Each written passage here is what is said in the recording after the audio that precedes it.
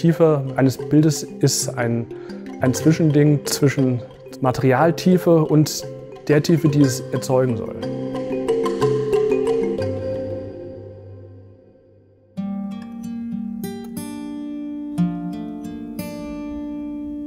Also ich bin schnell an einen Punkt gekommen, wo, wo ich gemerkt habe, dass äh, halt das, was ich malen wollte und so, wie ich es malen wollte, schon alles eigentlich gemalt war. Und es, es hat mich auch ein bisschen gelangweilt oder es, es, es war eigentlich nicht mein Ding. Ich bin nicht der typische Maler, der mit, mit Farbe und, und Pinsel äh, ähm, Bilder malt.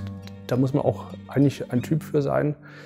Ähm, ich bin eigentlich eher so eine Art Entwickler. Ich versuche Sachen zu entwickeln und die umzusetzen. Und da ist, es, da ist mir dann das Medium im Grunde egal, aber die Wellpappen, mit denen ich halt angefangen habe, das ist halt ein so, so vielschichtiges, weites Feld, welches ich im Grunde halt noch beackern will.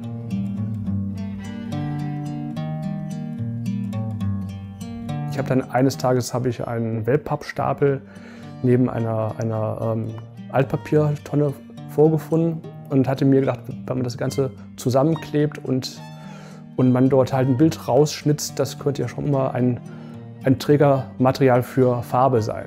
Halt daraufhin habe ich, äh, hab ich das dann halt benutzt und habe dabei entdeckt, wie gut das funktioniert. In der Zeit habe ich die, die Sachen noch versucht, realistisch anzumalen, wobei ich dann während meines Studiums festgestellt habe, dass man das nicht mehr anmalen braucht, sondern dass es, dass es eigentlich durch Licht und Schatten durch, durch selber halt funktioniert. Eigentlich habe ich äh, eine Idee im Kopf. Von der Idee versuche ich äh, an Bildmaterial zu kommen. Ob ich das jetzt im Netz finde, in Zeitschriften, selber fotografiere, selber hinfahre, das ist egal. Die Hauptsache, ich kriege was, was ich umsetzen will und umsetzen kann. Ich würde sagen, Kunst braucht keinen Interpreten. Also ein Kunstwerk muss von sich aus von sich selber sprechen. Also ein Kunstwerk muss zudem auch die Fähigkeit haben, sein Geheimnis zu behalten. Das heißt, ähm, man guckt das Ding an und man fragt sich, was ist daran gut oder was, was ist das, was mich an diesem Ding halt fesselt.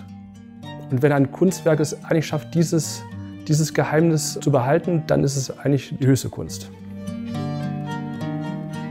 Im Grunde kann man nur Kunst machen oder das es ist ja eine Form der Selbstständigkeit und, und jede Form der Selbstständigkeit beinhaltet, beinhaltet eigentlich auch, auch die Bereitschaft, sich selbst auszubeuten oder in einem Feld zu suchen, bei dem man noch nicht weiß, ob, ob sich das lohnt oder nicht lohnt. Und man muss einfach, einfach dranbleiben und, und sein Ding machen.